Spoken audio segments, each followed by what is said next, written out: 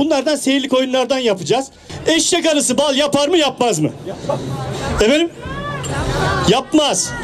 Efendim göreceğiz yapar mı yapmaz mı? Acizane ben eşek arısıyım. Bu biraz daha kıllı kaktüs olsun. Gülme, gülme gülme kaktüs deyip geçme efendim. Kaktüs senede bir defa açar ortalığa mister saçar değil mi?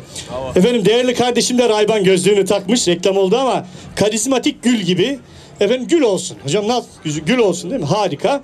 Tabii Konya Karatay Belediyesi Mevlana Diyarı.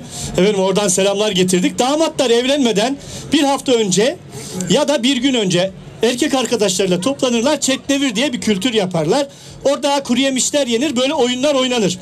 Efendim ben eşek arısı olarak sizden bal alırken siz şapkamı almaya çalışacaksınız. Sizden bal alırken siz almaya çalışacaksınız. Tamam mı?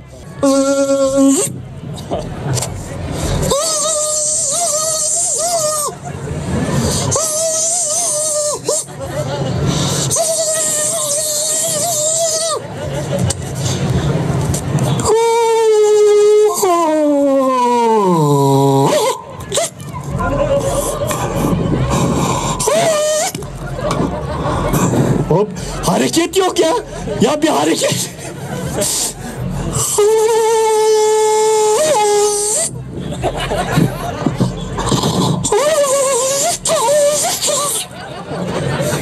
Hocam ne güzel gülüyor ya.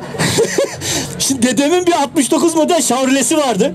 Dedem kontağı taktı mı öyleydi araba.